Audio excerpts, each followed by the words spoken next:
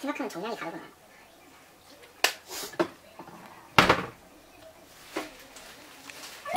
응? 아, 그냥 왜 딸기 안 먹었어? 왜 딸기 안 먹어? 꼈어? 아니, 딸기 꼈어요? 그렇지.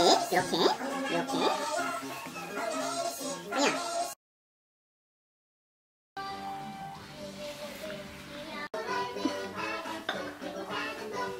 주지?